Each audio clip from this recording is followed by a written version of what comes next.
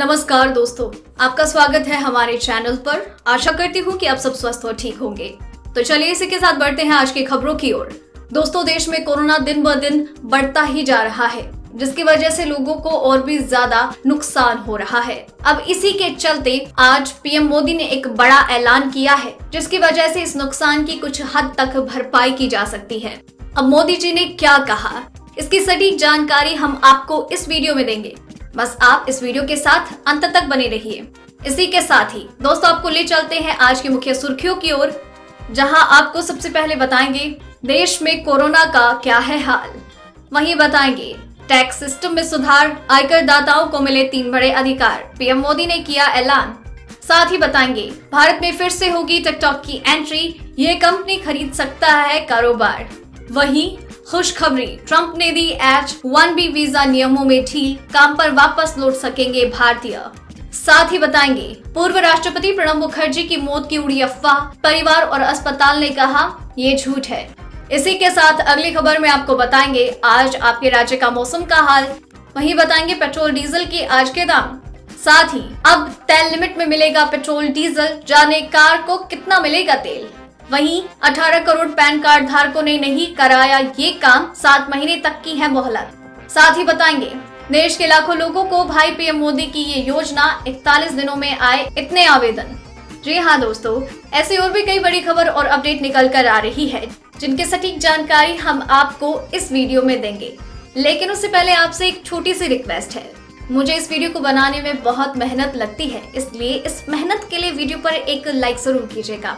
साथ ही नीचे एक सब्सक्राइब का लाल बटन दिया गया है, उसे भी ज़रूर दबाइएगा। और पास ही में एक छोटा सा घंटी का बेलाइकन नज़र आएगा, उसे भी ज़रूर दबाइएगा, ताकि आपको दिन भर की बड़ी खबरों की जानकारी लगातार मिलती रहे। तो चलिए दोस्तों एक एक करके सभी बड़ी खबरों के बारे में जान लेते हैं। इसी के साथ ही आइए, आज की सबसे पहली बड़ी खबर पर नज़र डालते हैं।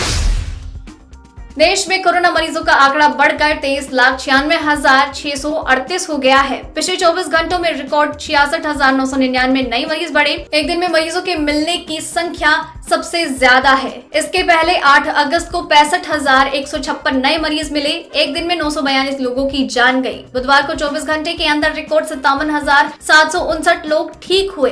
एक दिन में ठीक होने वाले मरीजों का आंकड़ा सबसे ज़्यादा है। स्वास्थ्य मंत्रालय की ओर से जारी ताज़ा अपडेट के अनुसार, देश में अभी कोरोना के छह लाख तिरपन हज़ार छह सौ बाईस एक्टिव केस हैं। कोरोना की वजह से अभी तक सैतालीस हज़ार तैतीस मरीजों की जान जा चुकी है।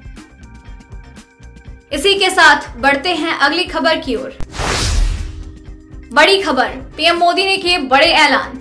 जी हाँ ईमानदार टैक्स पेयर्स को प्रोत्साहन और कर प्रणाली में पारदर्शिता बढ़ाने के लिए पीएम ने गुरुवार को एक नए खास प्लेटफॉर्म की शुरुआत की। इस प्लेटफॉर्म का नाम transparent taxation honouring the honest दिया गया है। इस मौके पर पीएम ने कहा, ये प्लेटफॉर्म 21वीं सदी के टैक्स सिस्टम की शुरुआत है, जिसमें फ़ीस लेस असेसमेंट अपील और टैक्स पेयर्स चार्टर जैसे बड़े रिफॉर्म है। इस नए टैक्स प्लेटफॉर्म के तहत करदाता को faceless assessment taxpayer charter faceless appeal की सुविधा मिलेगी। साथ ही अब टैक्स देने में आसानी होगी। तकनीक की सहायता से लोगों पर भरोसा जताया जाएगा।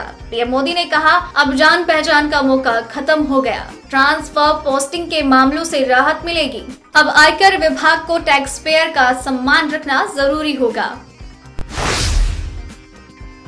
वहीं पीएम ने आज transparent taxation honouring the honest platform की शुरुआत की। इस दौरान पीएम ने कहा, देश का ईमानदार टैक्स पेयर राष्ट्र निर्माण में बहुत बड़ी भूमिका निभाता है। वहीं कांग्रेस सरकार की कमियों को बताते हुए पीएम ने कहा, एक दौर था जब हमारे यहाँ रिफॉर्म्स की बहुत बातें होती थी। कभी मजबूरी में कुछ फैसले लिए जाते थे, कभी दबाव में कुछ फैसले हो जाते थे तो उन्हें रिफॉर्म कहा जाता था। इस कारण इच्छित परिणाम नहीं मिलते थे। अब ये सोच और अप्रोच दोनों बदल गई है। इसी के साथ बढ़ते हैं अगली खबर की ओर। पूर्व राष्ट्रपति प्रणब मुखर्जी की हालत अभी भी गंभीर है। वो लगातार वेंटिलेटर सपोर्ट पर है। इस बीच सोशल मीडिया पर उनकी मौत की अफवाहें भी उड़ी। ट्विटर पर प्रणब मुखर्जी की मौत की अफवाह ट्रेंड हो रही है। लेकिन परिवार और हॉस्पिटल की तरफ़ से ये साफ़ कर दिया गया है कि प्रणब मुखर्जी अभी ज़िंदा है। वो वेंटिलेटर पर हैं। पूर्व राष्ट्रपति की बेटी और कांग्रेस नेता शर्मिष्ठा मुखर्जी ने ट्वीट करते हुए कहा, उनके पिता के बारे में जो भी अफवाह उड़ाई जा रही है, वो बिल्कुल झूठ है। उन्होंने मीडिया से आग्रह किया है कि वो उन्हें कॉल ना करे। शर्मिष्ठा ने ये भी कहा कि वो अपना मोबाइल फ्री रखना चाहती हैं, जिससे उन्हें हॉस्पिटल से पिता की हेल्थ को लेकर जानकारी मिलती रहे। खुशखबरी। ट्रंप सरकार ने नरमी बरतते हुए एच वन बी वीज़ा के लिए कुछ नियमों में ढील दी है, जिसका सीधा असर अमेरिका में काम कर रहे भारतीयों को मिलने वाला है। इस ढील के बाद एच वन बी वीज़ा धारकों को अमेरिका में फिर से प्रवेश की अनुमति मिल सकेगी। हालाँकि ये छूट सिर्फ़ उन्हें ही मिल सकती है, जो उन्हीं नौकरियों को वापस से ज्वाइन कर रहे हैं, जहाँ वो वीज़ा प्रतिबंध की घोषणा से पहले काम करते थे। नई नौकरियों को फ़िलहाल ये छूट नहीं दी जाएगी। अमेरिकी विदेश मंत्रालय के सलाहकार ने कहा आश्रितों को भी प्राथमिक वीज़ा धारकों के साथ यात्रा करने की अनुमति दी जाएगी। साथ ही बताते चले कि अमेरिकी सरकार ने छूट उन लोगों को दी है जो कोविड 19 महामारी के प्रभाव को कम करने के लिए या पर्याप्त सार्वजनिक स्वास्थ्य लाभ वाले क्षेत्र में चल रही चिकित्सा अनुसंधान का संचालन करने के लिए सार्वजनिक स्वास्थ्य या स्वास्थ्य देखभाल पेशेवर या शोधकर्ताओं के रूप में काम कर रहे हैं। इसी के साथ बढ़ते हैं अगली खबर की ओर। देश में युवाओं के पसंदीदा चाइनीज़ ऐप टिकटॉक की एक बार फिर से एंट्री हो सकती है। रॉयटर्स की एक रिपोर्ट के अनुसार रिलायंस इंडस्ट्रीज़ टिकटॉक के भारतीय कारोबार को खरीद सकती है। रिपोर्ट में कहा गया कि टिकटॉक की पेरेंट कंपनी बाइट डांस और मुकेश अंबानी के स्वामित्व वाली रिलायंस इंडस्ट्रीज़ लिमिटेड के बीच बातचीत हो रही है। हालाँकि दोनों कंपनियाँ अभी किसी भी सौदे पर नहीं पहुँची है। रिलायंस और टिकटॉक की ओर से अभी तक मामले में कोई प्रतिक्रिया नहीं दी गई। आपको बता दें कि बीते जुलाई महीने में भारत ने टिकटॉक समेत उनसठ चीनी ऐप को बैन किया था। था। दोस्तों, वीडियो में अभी और भी कई महत्वपूर्ण खबरें बाकी है। इसीलिए वीडियो के साथ बनी रहिए।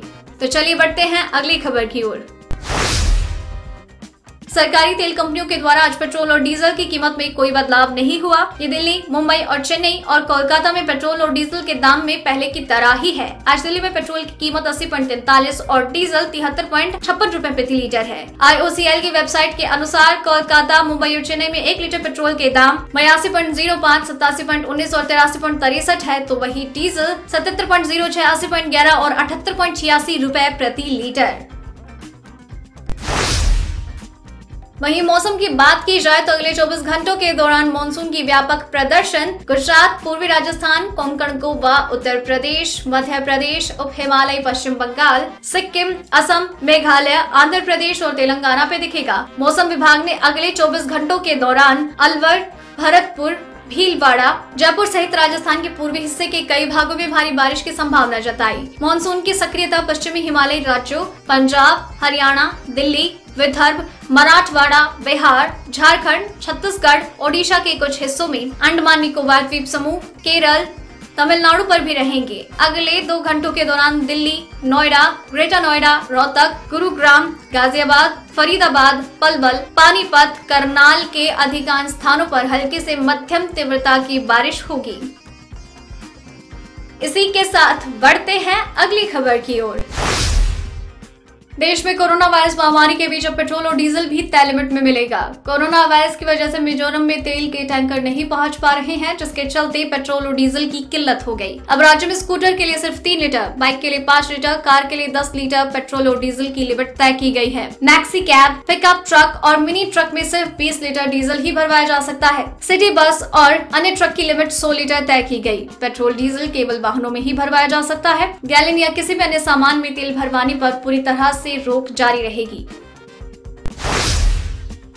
वहीं केंद्र सरकार की ओर से जारी आंकड़े बताते हैं कि देश के करीब 18 करोड़ पैन कार्ड आधार से लिंक्ड नहीं हैं। आंकड़ों के अनुसार बायोमेट्रिक पहचान पत्र आधार से अब तक बत्तीस करोड़ स्थायी खाता संख्या जोड़े जा चुके हैं। वही उनतीस जून तक पचास करोड़ पैन आवंटित किए गए। मतलब ये है की अब तक भी अठारह करोड़ के करीब पैन कार्ड आधार लिंक नहीं है। अगर आप भी इसी सूची में शामिल है तो आपके लिए सिर्फ़ सात महीने की मोहलत है। दरअसल बीते दिनों कोरोना संकट को देखते हुए सरकार ने फाइनेंस से जुड़ी कई अहम डेडलाइन को आगे बढ़ा दिया था। इसी में से एक डेडलाइन पैन और आधार कार्ड लिंकिंग की है। अब इकतीस मार्च 2021 तक पैन और आधार को लिंक कराने की मोहलत मिली है। आयकर विभाग के अनुसार अगर पैन को निर्धारित अवधि में आधार ऐसी नहीं जोड़ा जाता है तो वो निष्क्रिय हो जाएगा।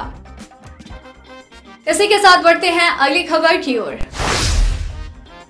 सुशांत सिंह राजपूत मौत मामले की जाँच के लिए परिवार लगातार सीबीआई जाँच की मांग कर रहा है। इसी मामले में आज सुप्रीम कोर्ट भी अपना फैसला दे सकता है। सुप्रीम कोर्ट के फैसले से पहले सुशांत सिंह राजपूत की बहन श्वेता सिंह कीर्ति ने एक वीडियो जारी करके फ़ैन से अपील की कि वो सीबीआई जाँच की मांग करे। उन्होंने कहा कि सभी को एक साथ आगे आना होगा और सीबीआई जाँच की मांग के लिए आवाज़ उठाई जानी चाहिए। श्वेता ने वीडियो जारी कर कहा, ये समय है जब सच्चाई की जीत हो और हमें न्याय मिले। कृपया हमारे परिवार की मदद करे। इस बात को सबके सामने लाने में कि आखिर मौत के पीछे की असली वजह क्या थी? अगर हमें न्याय नहीं मिला तो हमारा परिवार कभी शांति से नहीं रह पाएगा। सुशांत सिंह राजपूत, मामले की सीबीआई जाँच के लिए अपनी आवाज़ उठाइए और न्याय की मांग कीजिए। बड़ी खबर। मोदी सरकार ने PM street vendors Atmanirbhar Nidhi योजना को आवास एवं शहरी कार्य मंत्रालय ने आत्मनिर्भर भारत अभियान के तहत लॉन्च किया। मंत्रालय के अनुसार इसका उद्देश्य शहरी क्षेत्रों और उसके आसपास के अर्ध शहरी ग्रामीण क्षेत्रों के लगभग 50 लाख स्ट्रीट वेंडर्स रेडी पटरी वाले छोटे व्यापारियों को कोविड 19 लॉकडाउन के बाद फिर से अपने कारोबार को शुरू करने के लिए बिना किसी गारंटी के एक साल की अवधि के लिए दस हज़ार तक का कार्यशील पूंजी ऋण की सुविधा देना है। इसके तहत ऋण के नियमित भुगतान करने पर प्रोत्साहन के रूप में प्रति वर्ष सात परसेंट की ब्याज सब्सिडी निर्धारित डिजिटल लेन देन करने पर सालाना बारह सौ रूपए तक का कैशबैक और आगे फिर से ऋण पाने की पात्रता भी प्रदान की गई। दोस्तों, आज की वीडियो में बस इतना ही अगर आपको भी ये खबरें अपने मोबाइल पर हर दिन यूँ ही चाहिए तो इस वीडियो के नीचे दिए गए लाल बटन को दबाकर चैनल को सब्सक्राइब कर लीजिए और साथ ही में दिए गए इस घंटी को भी दबाएँ। और अगर आपने वीडियो पूरा देखा है तो अपना नाम नीचे कमेंट बॉक्स में ज़रूर लिख भेजिए। तो अपना नाम नीचे कमेंट बॉक्स में ज़रूर लिख भेजिए। फिर मिलते हैं कल। जय हिंद। धन्यवाद।